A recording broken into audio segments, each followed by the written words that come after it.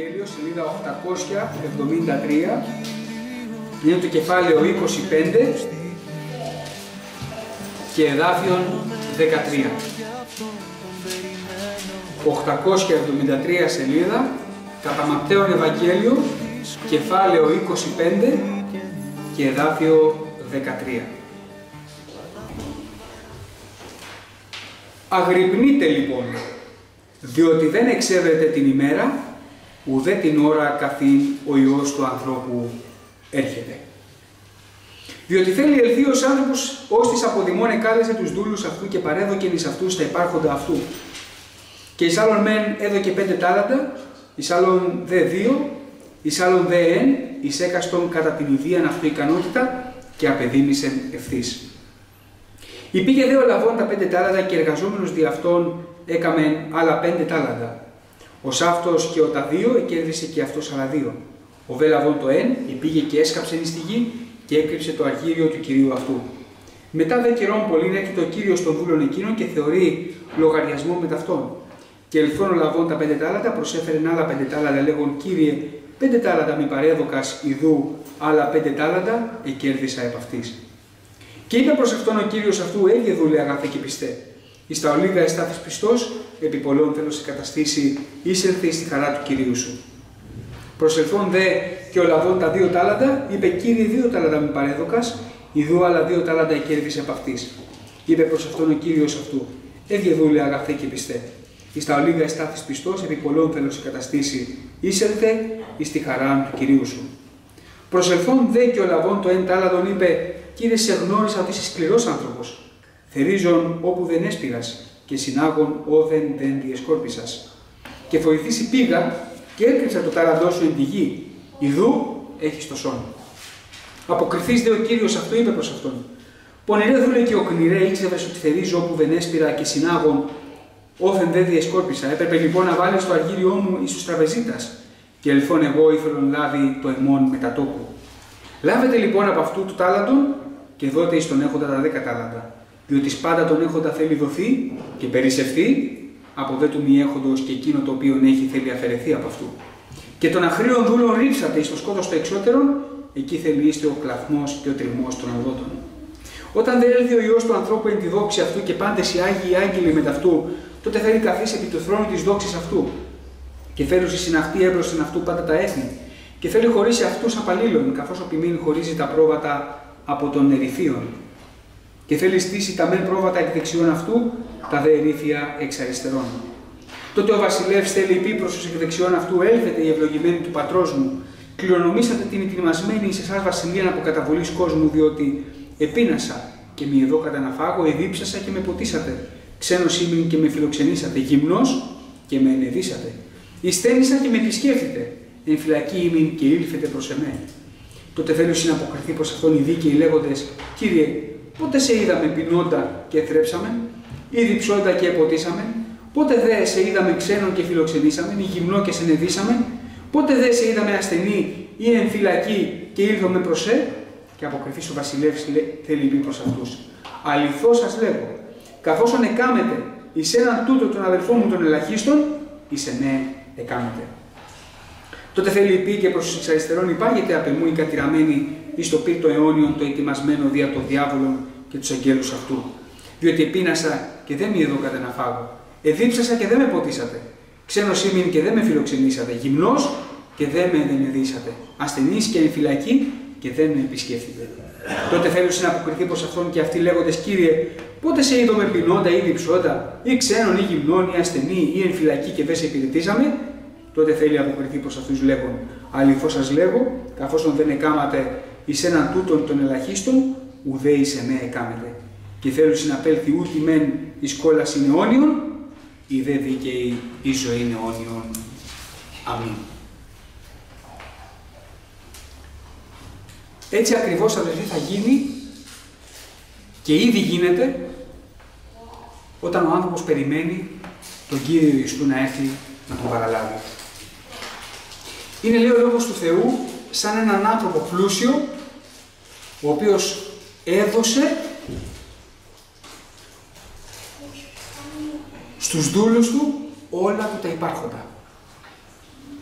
Που σημαίνει ότι όλοι οι άνθρωποι αδερφοί κάτι έχουν πάρει από τον Κύριο. Όλοι οι άνθρωποι κάτι έχουν από τον Ιησού. Σήμερα και εσύ και εγώ και όλοι μας έχουμε κάτι από τον Χριστό. Το θέμα είναι τι το κάνω αυτό το κάτι; Πώς το αξιοποιώ; Άραγε το ξέρω ότι το έχω πάρει. Το σίγουρο είναι αδερφοί ότι το ξέρω ότι το έχω λάβει. Πολλές φορές αναρωτιόμαστε και λέμε καλά εγώ κύριε τι έχω από σένα; Τι έχω; Δεν μου έχεις δώσει τίποτα. Τι έχω; Αυτό αδερφοί σήμερα καθώς το διάβασα στο Λόγο του Θεού ξέρετε τι είναι; Είναι ο άνθρωπος που το πήρε και το έκρυψε. Και ποτέ δεν αναγνώρισε την αξία του ταλάντου που πήρε από τον Θεό. Αυτός ο οποίος λέει μα εγώ δεν έχω τίποτα, εμένα ο Κύριος δεν μου έδωσε τίποτα, είναι αυτός που πήρε και έκρυψε. Ενώ σε αντίθεση οι άλλοι άνθρωποι που πήραν και εργάστηκαν είναι αυτοί που εκτίμησαν τη δωρεά του Θεού αδερφοί. Είναι πάλι αυτό που είπαμε πριν. Οι δύο κατηγορίες ανθρώπων. Ο άνθρωπος ο δούλος και ο άνθρωπος ο δούλος ο πιστός και αγαθός. Ο άνθρωπος ο οποίος πήρε από τον Χριστό, έλαβε από τον Κύριο και αυτό που πήρε το εργάστηκε, το δούλεψε, το κατεργάστηκε και το πολλαπλασίασε. Ο άνθρωπος ο οποίος είναι αγνώμων ενώπιον του Θεού και δεν εκτίμησε αυτό που πήρε από τον Κύριο, είναι αυτός που πήρε, αυτό που πήρε δεν του άρεσε και το έκρυψε. Με το σκοπό, όταν θα έρθει ο, ο Κύριος του πίσω, να του πει να, αυτό που μου έδωσες πάρτο. Αλλά αδερφοί, ο Κύριος θέλει αυτό που μας δίνει να το εργαζόμαστε. Και σήμερα ο Λόγος του Θεού μας το λέει παρησία ότι όλοι μας έχουμε κάτι από τον Κύριο. Όλοι μας. Και δεν εξαιρείται κανείς αδελφοί. Όλοι μας έχουμε πάρει κάτι από τον Θεό. Το θέμα μου είναι αυτό το κάτι, τι το κάνω; Τι το κάνω; Τι έχεις που σου έχει δώσει ο Θεός; Δεν έχεις πνεύμα Άγιο; Δεν σου έχει δώσει αγάπη ο Θεός; Δεν σου δίνει χρόνο ο Θεός; Έχεις κάτι να εργαστείς. Και αυτό που θέλει ο Θεός είναι αδερφοί αυτό το κάτι να το εργαζόμαστε με επιμέλεια. Όχι με αμέλεια. Όχι αμέριμνη. Ξέρετε τι λέει ο λόγος του Θεού τους αμέριμνους. Ουέις τους αμεριμνούντας εν Σιών. Ουέις αυτούς που είναι αμέριμνοι μέσα στην Εκκλησία. Ξέρετε ποιος είναι ο αμέριμνος. Αυτός που δεν έχει κανένα ενδιαφέρον. Αυτός που δεν περιμνάει για τίποτα. Αυτός που δεν ασχολείται με τίποτα. Ο αμέριμνος είναι αυτός που μπαίνει, εντάξει τα κάνουν όλα οι άλλοι, δεν χρειάζεται, έχει πέσει και κάτι εκεί πέρα, ε, μην το σηκώσει παιδί μας, θα το σηκώσει ο επόμενος. Έχει και μια βρώμα εκεί, ε, μην το κάνει τώρα, το κάνει κάποιος άλλος. Και μακάρι να μπορούσε να πάει να πει σε κάποια αδερφή, επειδή δεν μπορώ, εκείνο δεν είναι ωραίο. Μακάρι. Αλλά ο αμένινος είναι αυτός που αποφεύγει κιόλας. Θα το δει ο επόμενος και στρίβει. Και αποφεύγει. Και λέει άσε να τα κάνουν όλα οι άλλοι. Αυτός είναι αυτός που πήρε από τον Θεό και δεν εργάστηκε. Είναι αυτός που πήρε από τον Κύριο τα τάλαντα και δεν τα χρησιμοποίησε. Δεν θέλησε να επεκταθεί. Δεν θέλησε τα όρια του να μεγαλώσουν. Δεν θέλησε η συνέχεια του να είναι καλή. Αυτός εδώ πέρα που πήρε τα πέντε τάλαντα θέλησε να έχει ευλογία από τον Κύριο του. Θέλησε να έχει έπαινο. Θέλησε ο Κύριος να τον επενέσει. Ήθελε να ακούσει από τον Κύριο του καλό λόγο. το ένα όμως δεν ήθελε να ακούσει τίποτα. Ενδεχομένως να ήθελε να ακούσει μπράβο παιδί μου που κράτησες αυτό που σου έδωσα. Μπράβο, το φύλαξες μια χαρά, το έβαλες και μέσα στη γη. Που, τέλεια. Δεν έπαθε τίποτα. Το τύλεξε και καλά, έβαλες και πολλά νάιλον εκεί και αλουμινόχαρτα κλπ. Το τάλαντο μου το έδωσες άριστο. Αλλά δεν θέλει αυτό ο Θεός αδερφοί. Ο Κύριος θέλει τον κόπο μας. Το ότι ο Θεός σου έδωσε τη διάκριση να δεις κάτι. Δεν σου την έδωσε αυτή τη διάκριση για να δεις κάτι και να το αφήσεις παρατημένο. Δεν σου έδωσε ο Θεός τη διάκριση να δεις την ανάγκη του αδερφού σου και να μην ασχοληθείς. Αυτό ξέρετε τι πως το λέει ο Λόγος του Θεού. Υποκρισία. Υποκρίνομαι ότι δεν είδα. Αυτό είναι στο Λόγο του Θεού. Η αμεριμνησία δεν είναι καλή ενώπιον του Θεού, αδελφοί. Και αυτός που πήρε από τον Θεό και δεν εργάζεται, κάποια στιγμή θα τον πάψει ο Θεός. Είναι σαν να είσαι υπάλληλος σε μια εταιρεία. Υπάλληλος σε ένα αφεντικό. Και το αφεντικό σου σου λέει, παιδί μου, κάτσε εδώ. Εδώ είναι ο υπολογιστής σου, εδώ είναι το γραφείο σου. Εδώ είναι η δουλειά σου, αυτό πρέπει να κάνεις. Και θέλω να δω αποτέλεσμα. Και εσύ κάθεσαι Πολύ ωραίο το κομπιούτερ, τελευταίας τεχνολογίας και ανοίγεις πασχέτζες. Να παίξω και αυτή την πασχέτζα, ε, και άλλη μία, έχω πέντε λεπτά ακόμα, να παίξω και άλλη μία, και άλλη μία, και άλλη μία, και φεύγει όλο το οχτάωρο και καρπός μηδέν. Και έχει το αφεντικό και του λέω στο αφεντικού σου, αφεντικό το κομπιούτερ το άφησα σε άριστη κατάσταση. Όπως μου το έδωσες, έτσι το κράτησα. Μα δεν σου το έδωσα γι' αυτό. Σου το έδωσα γιατί θέλω καρπό από σένα. Θέλω το κομπιούτερ που σου έδωσα να το κάνεις παραγωγικό. Έτσι είναι και τα πνευματικά, αδελφοί. Το Πνεύμα το Άγιο που μας έδωσε ο Κύριος δεν μας το έδωσε για την ημέρα που μας βάφτισε. Το έχουμε πει πολλές φορές. Αλλά πρέπει να το καταλάβουμε καλά, αδελφοί. Το Πνεύμα το Άγιο είναι για πάντα. Για πάντα. Πόσο καιρό έχω να πληρωθώ με Πνεύμα Άγιο; Πόσο καιρό έχω να δοξολογήσω και να λατρέψω τον Κύριό μου εν πνεύματι και αληθεία; Πόσο καιρό; Πόσο καιρό έχω να γεμίσω με την παρουσία του Θεού και να αδειάσω τον εαυτό μου από την καθημερινότητά μου; Πρώτος εγώ. Να προσέξουμε αδερφοί. Γιατί πολλές φορές αφήνουμε αυτά που μας δίνει ο Θεός για να ασχοληθούμε με τα δικά μας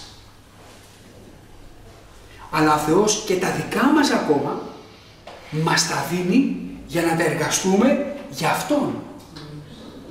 Το ότι με έβαλε σε μια δουλειά ο Κύριος δεν σημαίνει ότι με έβαλε για να πάω για πλάκα. Με έβαλε γιατί υπάρχει λόγος. Στη ζωή του χριστιανού τίποτα δεν είναι χωρίς λόγο, αδελφοί αγαπητοί. Τίποτα. Στη ζωή του χριστιανού όλα έχουν σκοπό. Εάν όμως ο άνθρωπος του Θεού δεν φοβάται το Θεό, τότε στη ζωή του χριστιανού όλα είναι άσκοπα. Άσκοπα. Μπορεί για τον εαυτό μου και για μένα να φαίνεται ότι έχω σκοπό. Έχω σκοπό τον πλουτισμό, έχω σκοπό να πάω καλά, έχω σκοπό να μου λένε όλοι μπράβο, έχω σκοπό. Αυτά όμως για τον Κύριο ξέρετε τι είναι; Άσκοπα.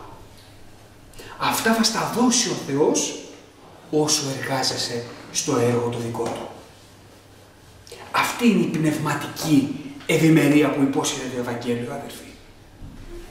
Δεν είναι η ηλική ευημερία του Ευαγγελίου. Δεν είναι βασίζεται στην ύλη.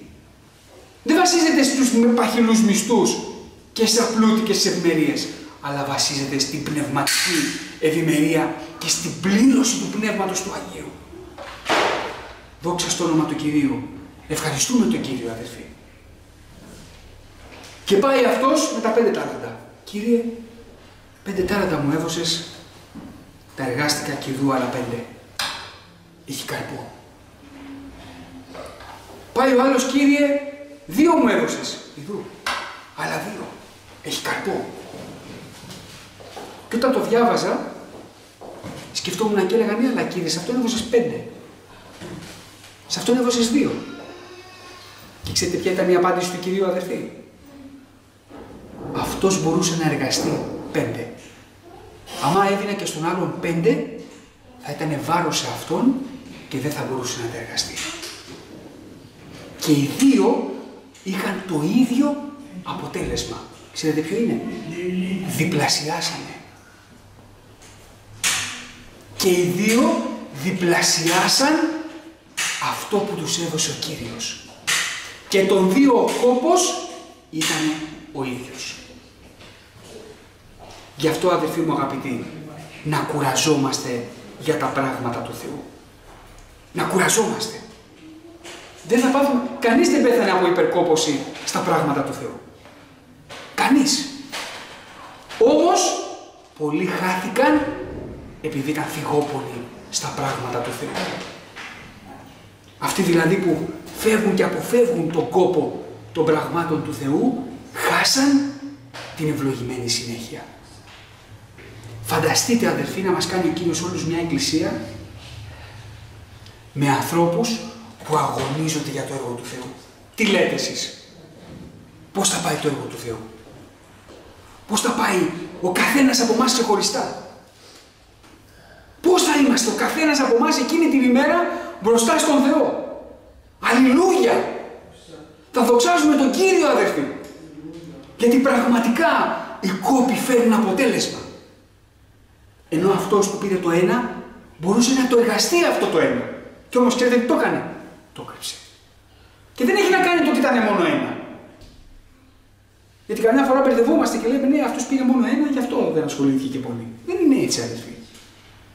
Ο Κύριος δίνει στον καθέναν σύμφωνα με αυτό που μπορεί να σηκώσει. Το αποτέλεσμα ευλογημένη συνέχεια. Και ποια είναι η ευλογημένη συνέχεια; Κύριε μου έδωσες πέντε τάλαντα, ειδού άλλα πέντε τάλαντα σου θέλω.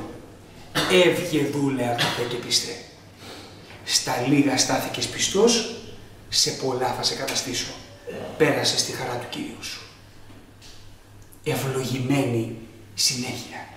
Στην Παλαιά Διαθήκη, αδερφή, ευλογημένη συνέχεια ήταν στο σπέρμα των ανθρώπων.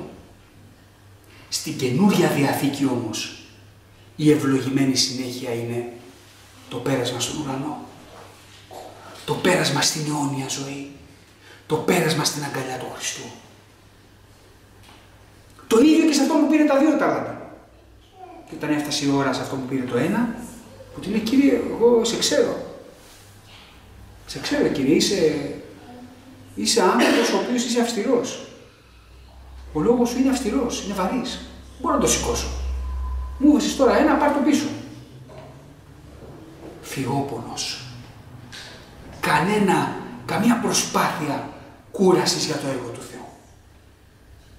Καμία προσπάθεια. Έβλεπε τους άλλους να ευλογούνται, να φέρουν τάλαντα στον Κύριο, καμία κούραση, καμία ασχολία. Και το αποτέλεσμα, κακή συνέχεια. Τι λέει ο Λόγος του Θεού; Πονηρέ δούλε και οκνηρέ. Ενώ ήξερες όλα αυτά που μου είπες. Τα ήξερες. Γιατί τουλάχιστον δεν ασχολήθηκες να βάλεις το ταλαντό μου στην τράπεζα να απολαύσω τον τόκο; Απλά πράγματα. Κάτσε και ασχολήσου λίγο, κάνε κάτι. Φέρ τα πράγματα πολλές φορές λένε οι αδερφοί ότι η τράπεζα αυτή είναι η εκκλησία. Αμήν. Αμήν. Φέρε αυτό που έχεις στους αδερφούς σου. Ασχολήσου με τα αδέρφια σου. Όμως αδερφοί, σήμερα, εάν έχουμε μία πορεία στη ζωή μας, ο Λόγος του Θεού μας παρακαλεί να την αλλάξουμε. Να μην είμαστε αμέριμνοι. Το δε βαριέσαι και το όχ αδελφέ να φύγει από το λεξιλογείο μας. Το άσε σήμερα, δεν πειράζει σήμερα, ε, μια μέρα είναι. Μια μέρα είναι πολύτιμη στα μάτια του Θεού, αδελφοί. Δεν έχουμε, σκεφτείτε ότι δεν έχουμε πολλές ώρες στη ζωή μας να υπηρετήσουμε τον Κύριο. Οχτώ ώρες δουλεύουμε, ίσως και δέκα και δώδεκα. Κάποιες ώρες κοιμόμαστε και μένουμε κάποιες λίγες ώρες να κάνουμε κάτι. Μας μένουν δύο ώρες μέσα στην εβδομάδα και άλλες τέσσερις ώρες την Κυριακή να είμαστε στο έργο του Θεού, στο Λόγο του Θεού. Με φροντίδα, αδερφοί. με σπουδή, να αλλάξουμε τον τρόπο ζωής μας. Να πάρουμε τον εαυτό μας από εκεί που τον έχουμε κατατάξει μέχρι σήμερα και να τον βάλουμε αλλού. Γιατί αν δεν το κάνουμε εμείς τώρα, θα έρθει η ώρα που θα το κάνει ο Θεός.